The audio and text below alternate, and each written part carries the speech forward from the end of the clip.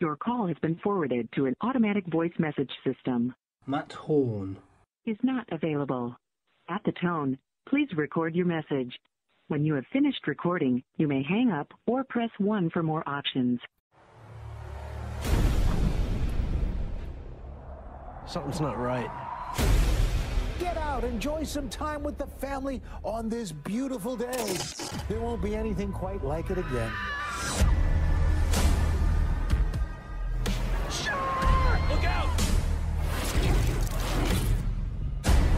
If we stop the first Sharknado, we can stop them all. Time travel's risky. If we do it right, we can reset everything back to the way it should be.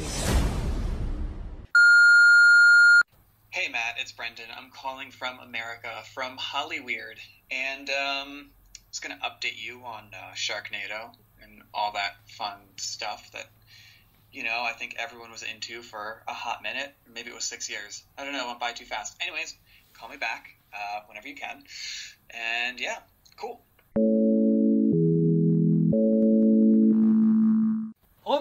We have Brendan Petrizzo talking to us. From where are you talking to us from, Brendan? Oh, from Glendale. It's it's right next to Hollywood, so we'll just say LA. If you're in London, it would be the equivalent to Essex? Uh, no, it'd be closer. Um, if you're in Camden and like, I'm trying to think geography wise. It's been like three years since I've been. Um, okay, let's say you're in Camden and you're like 45 minutes away, but you're still in the city. Right, okay, so you in the equivalent of Leicester then? Yes. Yeah, that'll do. So, yeah, I mean, I'm going to have to start off going downhill for the beginning of this podcast. Basically, we've been doing a running thing for the last week or so. Unfortunately, it's the sad death of Burt Reynolds. It is. It is. It is. It is. I loved Burt Reynolds in Boogie Nights. He was really good. Everybody talks about bloody Boogie Nights. Let it go.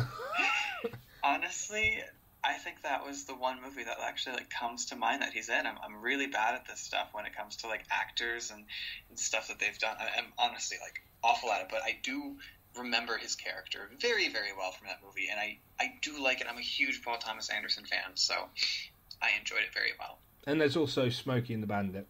Yes, he was good in that. I've only seen the trailer, but you know, I enjoyed the trailer. Right, here we go. All right.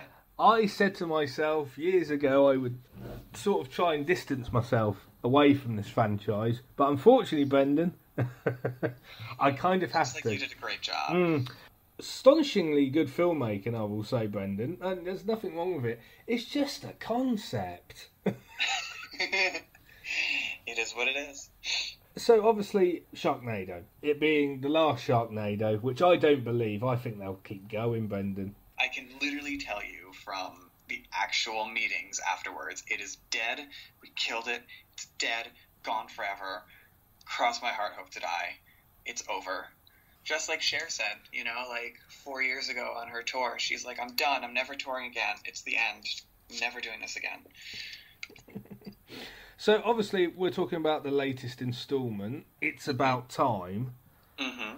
When I heard about this, I thought they were trying to make a play on the fact that it was about time on the franchise being the end of it. Unfortunately, I then discover that for some reason, I don't know how this works, they've basically put together sharks, tornadoes, and time travel. Oh, yes. Because that's a great bundle of things to Oh, yeah. bring together. Oh, yeah. It's like, it's like you take the greatest things in the world and then mix them into one and then chop it down to 90 minutes and you get you get this. Yes. So, with regards to the plot line, Brendan, what's the general plot line surrounding the film? It has a plot. Wait, really? well, the basic concept is when you boil it down, this guy has to get his son back, who has been traveling through time, through these different vortexes. That is the basic, basic concept. So, if you're watching it for the plot, it's about them going back in time to save his son. That's it. That is it. Like, don't overthink it. That's the basic, the basic idea. As a franchise, it's it's what six, seven movies. You can correct me if I'm wrong. Yeah, six of them. Six of them. There's six of them, but there's that one like spin-off film, which is like Sharknado: Heart of Sharkness. and then there's that one documentary that they did. So like theoretically, there's six narrative Sharknado films, one fake documentary spin-off, and then one actual documentary. Brendan, I am going to make it the most easiest question of them all before I go into the actual film itself, right? Okay. And this is the one question, the one question that I've been waiting to ask somebody who was in Sharknado. Right? Go for it. Why on earth is it bloody popular? You know, I don't know. Um, I've been a fan of, of Asylum since 2006, and it's like I don't I don't know. I mean, I think it just happened at the right time. It was literally a whole thing of just like when it happened. I guess people were like, "It's so crazy." I honestly think it just happened at the right time, and then it was kind of like, "Oh my god, they're actually making another one. Are they serious?" And then people would watch it and they would just kind of keep being like that. And you know you would get these crazy cameos and it'd be like oh my god they actually did this. So i think that's what happened is people were like oh my god what is this movie? And then you know then when the second one happened it's oh my god they actually did this. And then the third one it's like oh my god. And then they just kept going on and on and on how ridiculous can we get? And i think i think that's what happened. That's my personal take on it. Right. I mean, you're playing Hologram Gil. I'm in this one a few different times. I'm hologram Gil, but I'm also eaten on the beach. But IMDb wouldn't let me credit myself as that. I don't know why. So I have beef with them now. But I'm also eaten on the beach. Here we go. How on earth did you get eaten on the beach? it was supposed to be something different. We came up with a concept. It was supposed to be a swordfish kills me, but they changed it in post, and a shark falls on my head. And then I, yeah. this is actually a conversation right now. Yeah, shark fell on my head. Mm. We're going there, Brendan. Let's do it. Yeah, of course. So, I mean, obviously, I say the main cast are back. They are back. Let's be honest. Ian Ziering, Tara Reid's back, obviously, Mm-hmm. and most of the people from the first film. It, it is it is a lot to do with the first film, hmm which is, I suppose, clever in a way. Wrapped it up pretty well. I have to say, like to wrap up a franchise, like they they did a very good job with with that. Mm. Because obviously you you've been part of the franchise, you know, as sort of in the back, if that if that's fair. I would A, say a yeah. little bit, Mm. kind of. I was in the third one. I worked on that when they were in DC. When I used to live in DC. Mm. So like I've I've been you know watching from the sidelines. Mm. What was it like working with the cast and crew on set? Which film? The third one or the sixth one? Either. Well, let's start with the third one. Um, it was a lot of fun. It was the first film I ever did, and it was kind of like, oh my god, this is so cool! Like I'm working with the studio that I want to start out with. This is amazing. And then you know, fast forward to when was it? March of this year, and it was like I'd already done like four or five films with Asylum, so I was used to it by that point. And it was kind of like, oh my god, this is great. Oh, I'm very tired. Oh, it's it's stressful, but it's fun, but it's stressful, and I have no sleep. It was a lot of fun. It's one of those things where you look back on it and you're like, oh my god, I had a lot of fun. Let's do it again. And then I'm sure if you do it again in the moment, you're like, oh, why did I do this? And then it's kind of that cycle. But I had a lot of fun. It was crazy. It was stressful. It was very tiring. But it was, in the end, rewarding and a lot of fun. Going back to your point about why it, why it's so successful and about the fact it was the right time to sort of not slag off Hollywood in a way, but I mean, there's so many films that are just sort of generic shooting films, or they're generic romance stories, or they're generic stuff. Is it one of those things whereby it's that bonkers an idea that it becomes its its own sort of thing, if that makes sense? Basically, Mm. Basically, I think so. That it's like it's so crazy that it's just like its own thing, and you know, it's like yeah, you could watch I don't know one of the Jason Bourne movies on TV, or you could watch someone killing sharks in a tornado with a chainsaw for you know two hours, and you know you decide which one sounds more fun. I must admit, actually, killing chainsaws in a tornado this sound this sound a bit more, you know, interesting. Like think about it if you're at a party or you're like drunk with friends, like what sounds more exciting? What at the end of the day, what do you think you'll remember more? Yeah, like you might enjoy the, you know, Jason Bourne thing, but you'll probably have a more memorable experience watching sharks, you know, getting killed with a chainsaw. Mm. I mean, let's let's talk about another sort of thing that we can mention in, I suppose, this kind of this kind of type of film. The Room. Okay. The Room was a good film because it's so hilariously bad. yes. Yeah. I'm just trying to think of another one, and I can't. Barbarella. Barbarella's a fantastic film, Brendan. What are you talking about? well, if you think about it, like, if you think about it, every time she crashes on a planet, she has sex with someone for no reason too. So it's like kind of this random like what the hell is happening and it's the basic concept with Sharknado where you're just like wait what the hell? It's it's kind of that like very loosely kind of tied in. Oh God, you've just compared Barbarella to Sharknado. How on I earth have you done that? I did. I want to say something to the people in Hollywood about this. Don't remake Barbarella. Yes, I agree with that. I mean, you know that Robert Rodriguez wanted to for a hot minute, and he wanted to have Rose McGowan play uh, play Barbarella, but that didn't work out. Going back to Sharknado, are there any sort of funny anecdotes you can share about the production of the film? Yes. Let me think. Funny stories from the set of Sharknado. Okay, so the scene where Tara is standing on the boat towards the end, laughing, going like, you know, ah, ha ha ha ha. We had this giant fan, like right below her, that was supposed to be blowing air. No one checked the fan beforehand. So the first take she did, it was mwahaha spitting out sand because there was sand at the bottom. And she was a trooper, but it was very funny. It was pretty funny. I'm trying to think what else. What other funny things from the set? Oh my god, I'm blanking on this. This is this is not good. Oh, Gary Busey.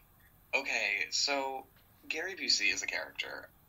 I wasn't there when this happened because I was, I think, at the production office getting something. But apparently, he like barked in someone's ear like a dog.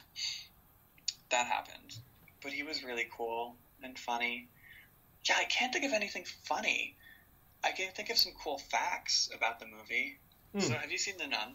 What is that? The the, the new one? Mm-hmm. No, Okay. Have you seen the trailer of The Nun? possibly. Okay. So, fun fact number one of how Sharknado and The Nun are very similar.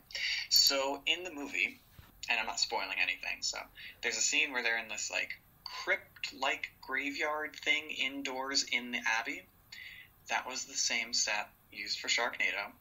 So, if you've seen Sharknado, it's about time, and you're in the you know Merlin's castle. It's the exact same set as The Nun, and the only thing they're missing is Alaska Thunder coming in and out. And then also the who was it? It was the woman, I forgot her name. She's hilarious in person. It's it's it's Debra Wilson who played New Brian in the medieval scene. She's the voice of the creepy lady in the trailer for the nun, and she's the voice of the creepy lady in that room that they filmed Sharknado in. So it's like this really cool how like Sharknado and the Nun tie in together. same people, same sets. Most of the beach stuff that we filmed in Sharknado for the beach attack scene, that was actually shot in Malibu. That was not Santa Monica at all whatsoever. Santa Monica does not have giant, massive cliffs. It has a small one. But that's basically it from what I can think of right now. Well, I do have to ask the question. Unfortunately, I've got Okay. to ask it because I'm contractually obliged to. Do it. Obviously, they finished with sharks and tornadoes. hmm Are they thinking of creating a new franchise based on two completely separate entities? they aren't. From what I understand, I think Syfy is trying to go in a different direction and have a different type of feel to it. That's what I think. So I don't think we're gonna have crazy, like alligators in a hurricane type thing. But that being said, I mean, what we did six-headed shark attack. I mean, you can always do seven-headed shark attack or eight-headed shark attack. So it's kind of one of those. we won't really know until all of a sudden it'll just appear on the schedule and it'll just be like, oh my god, we have to make this movie. Mm-hmm. Obviously, they said that Saw Saw was going to end at the seventh one, and we're still bloody going now. Well, like I like I said before, we're uh, we're done forever. Yeah. You know, wink, wink. We're never doing this again. It's never gonna happen. Give it three years, and I'm sure they'll think of something. Shark. I'm trying to think. Tornado. I'm trying to think of other weather weather things. Sharkane. You could do that. Yeah. You could do a shark and a hurricane, or it'd be really fun if you kind of mixed a few different films. Because like I know we have like if we kind of built a universe because we have this mega shark movies. So you could do like Mega Shark versus Sharknado, and then you could do like, you know, you could do that. I'm looking around my office for posters for inspiration, but unfortunately, I just have Snakes on a Train and Age of the Hobbits. So you could do Sharknado versus a giant snake. I don't know. I'm bad with these these crazy movie ideas. What about Piranha? Piranha, that was Asylum, wasn't it? Well, it depends. So there's the original Piranha, which is Roger Corman, and there's Mm. Piranha 2, which is Roger Corman, but also done by James Cameron before he was fired. Then there's Mega Piranha, which is actually the film that got me into Asylum. That's the movie that I was like, I want to start working here. But that was like 12 years ago. So in theory, like if they did Mega Piranha versus a Sharknado or just another Mega Piranha movie, I would like die of happiness. There you go. It's been greenlit now. we're, we're gonna make another Mega Piranha movie. Ah, yes, I'd love that. I would love every minute of that. But what would probably happen is they'd film it when it was like really hot out, or it'd be like really cold. Because like, even though LA is very very warm and very hot at night, it gets cold. And those morning shoots when you have to get up at five in the morning, it's freezing. but it'd be fun. That'd be a fun thing to do. Mm-hmm. Mega Piranha 2. I'm just thinking that they can't really do Star Wars, can they? They can't recreate, call it something like Sharkado Wars or something like that. They did Mm. kind. Well, no, that's not Star Wars. That was Avatar. Yeah, I don't think we could do. Mm. I mean, in Sharknado Four, they kind of hinted at it a little Mm. bit with the lightsaber chainsaw and the whole Sharknado Four: The Fourth Awakens. Mm. Mm. Mm. Being the film title. Oh yeah. Yeah. So I guess we've already done that. Yeah. It's never fun to repeat yourself, so I guess we're not going to do it again. Always have to be original, you know. Correct me if I'm wrong. It's American, isn't it? It's- mostly set in America. Yes, except the fifth one. Mm. The fifth one they went on a world tour. Mm. No reason why they can't do a British one, I suppose. Oh, that'd be fun. I would definitely do that. I love England. I would gladly, gladly push for that to happen. Mm. But I think it'd be fun to do like a lifetime movie over in England, and you get like Gemma Collins for a day. That's hmm. what I want. I want to do a lifetime movie with Gemma Collins. Isn't Gemma Gemma Collins? Where's she from? I think she's from Celebrity Big Brother. Anyway, it's Essex, isn't she? Yes, she's from Essex. You shouldn't know anything about that, Brendan. You're American. I'm a fake Brit when I have to be. you shouldn't know anything about that. Nobody in America will know who you're talking about unless you Google it. do you know who Jedward is? They were in Sharknado four, three, four, and five. Oh God, they weren't, were they? Mm-hmm. Oh, I've never met them, so I can't judge them, but they were, yeah, they're in Sharknado. So there, I know some, I know some things that most Americans don't. Do I get points for that? you probably do. Okay, great.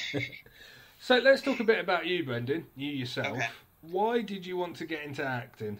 Well, actually been thinking about that in general, just like film in general. I, I think it started, and I don't know if this is true, but I'm, I'm going with this story. Years ago, when I was like five, my uncle was like an extra, like his friend does like extra work, and he was in a movie called Along Came a Spider.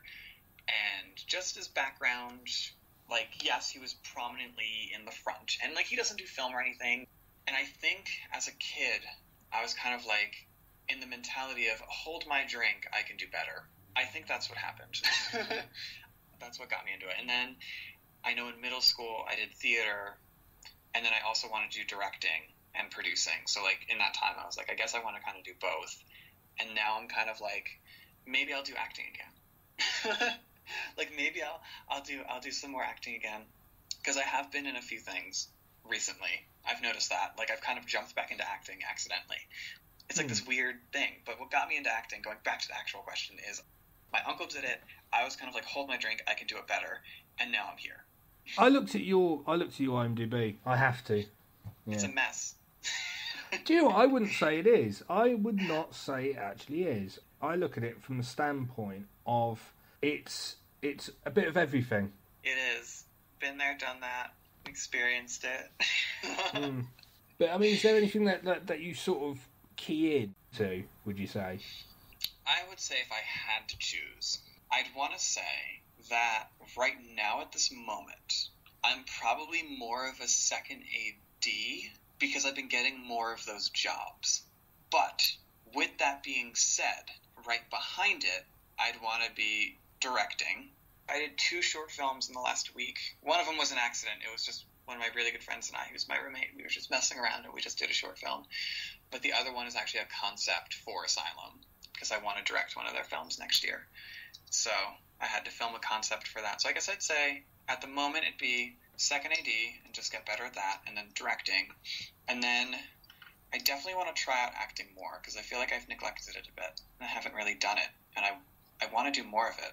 Well, obviously you're a writer as well. When you're sort of approaching projects, hmm exactly how are you making them up? If that makes sense. Oh boy!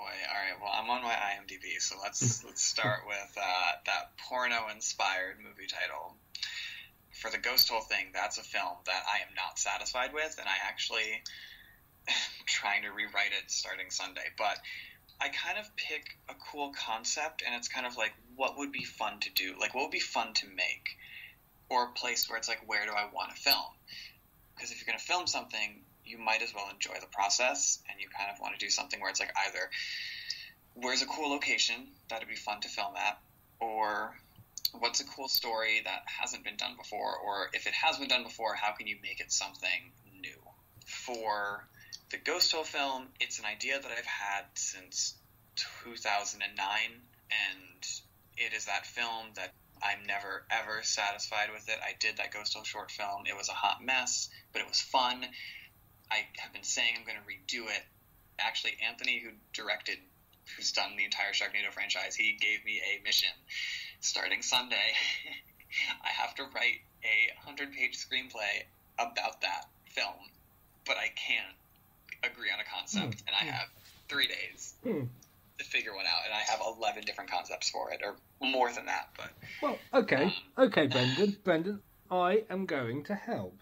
oh So boy. go on, give me give me the sort of where you are at the minute with it.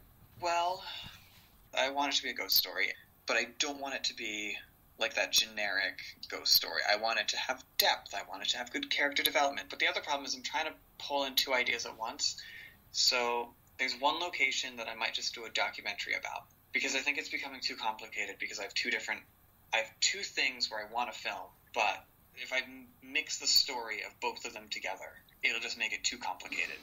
So I think that's the problem I'm at. Well, okay, so why not just do a short film of the other location and just focus purely on the main main On location? the main thing. Mm. That's what I think it's coming to. I Mm. think I'm going to do a documentary about this one place. Bit like Blair Witch, then.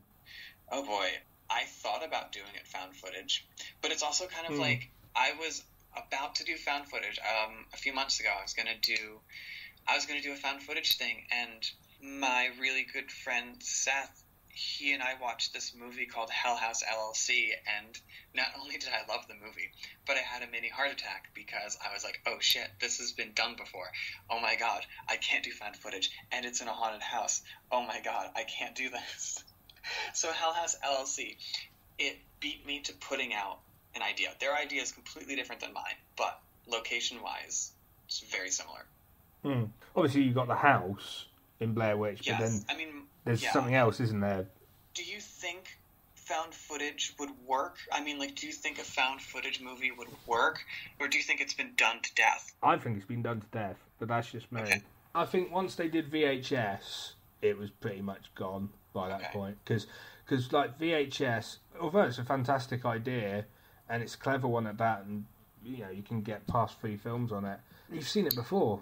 I've seen yes, I've seen VHS before or VHS before. There are two found footage movies that are honestly really, really good, Mm. in my opinion.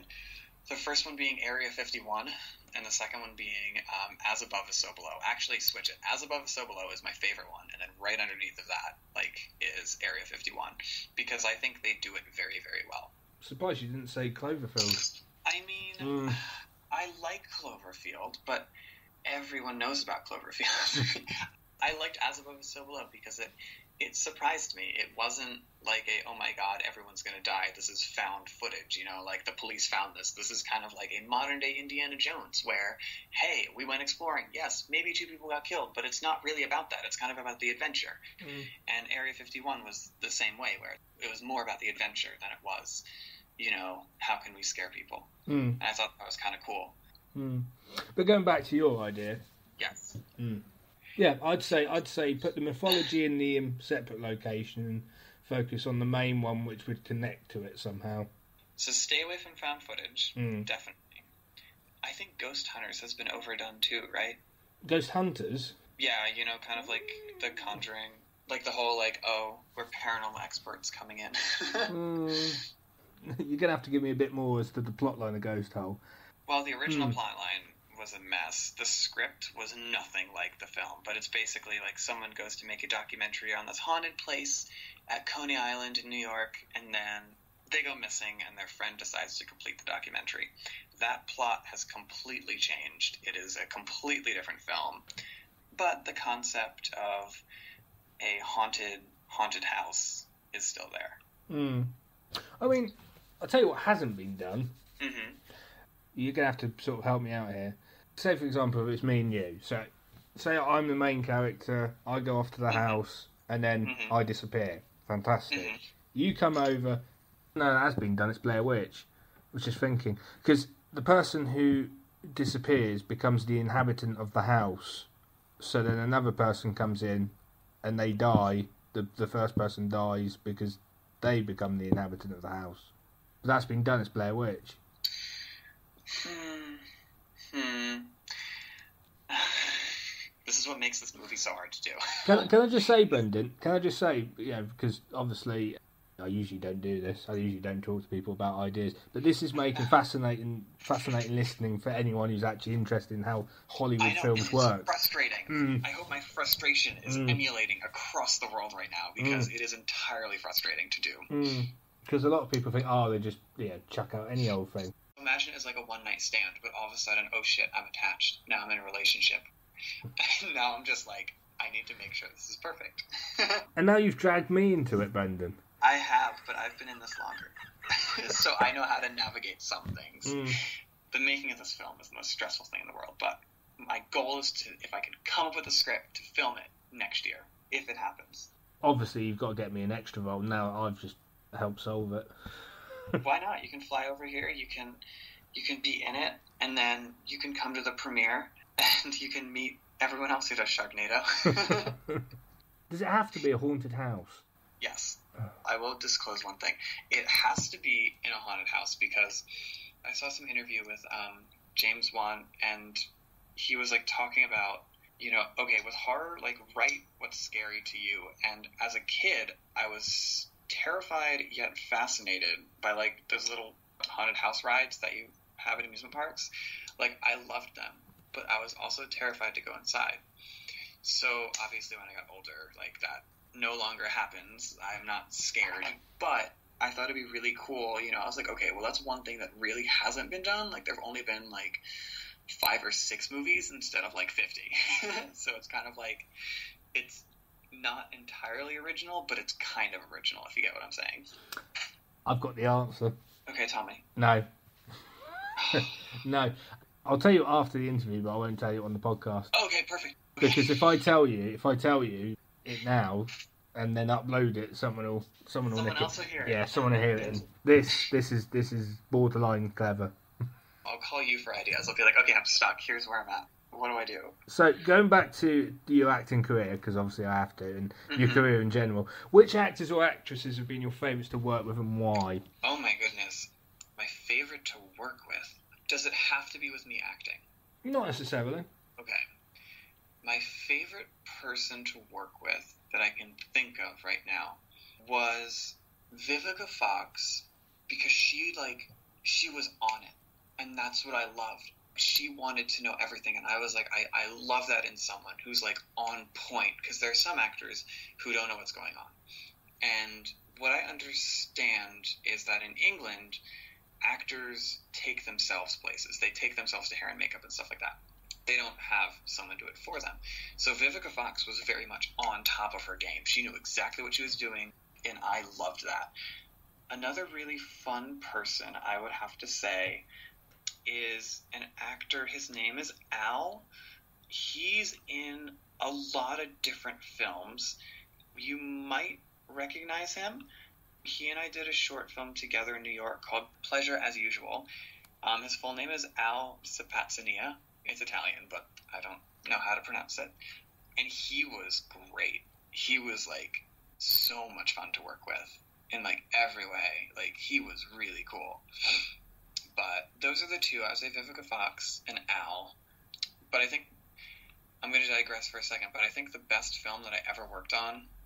I didn't know if that was going to be a question, but I have to say the best film I ever worked on and the best set I ever did was Madonna and the Breakfast Club because that was literally a let's go make a movie. it was the, the epitome of let's just go out and just make a movie, and no matter what, it'll turn out fine. And it was the best experience I've ever had.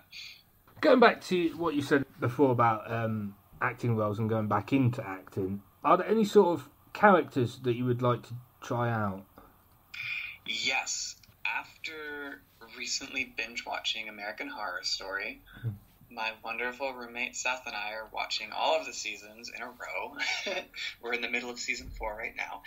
I would love to have a character like Jessica Lange because I am not a good actor, and I am not sad to say that, but I can do the bitchy roles relatively well.